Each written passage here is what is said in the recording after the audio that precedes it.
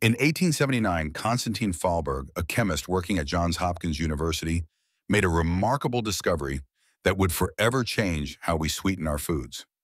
After a day of experimenting with coal tar derivatives, Fahlberg noticed an intensely sweet taste on his fingers during dinner, despite having washed his hands.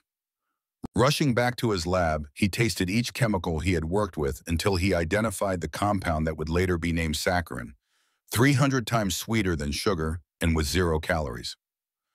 By the early 1900s, saccharin was being commercially produced on, but it wasn't until World War I sugar shortages that it gained widespread popularity.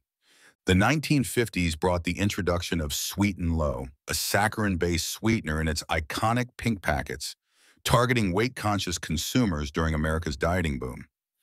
In 1960, chemist James Schlatter accidentally discovered aspartame while working on an anti-ulcer drug when he licked his finger to turn a page and noticed an intense sweetness.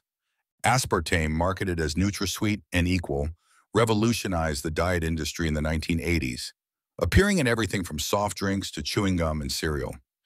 The 1990s saw the development of sucralose Splenda, discovered when a researcher misunderstood a request to test a compound as a request to taste it, finding it unexpectedly sweet.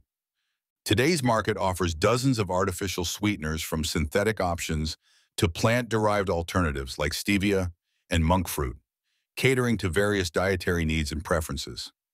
What began as Fahlberg's fortunate accident has evolved into a multi-billion dollar industry. Though the story of artificial sweeteners reminds us that sometimes the greatest scientific discoveries happen by chance rather than design.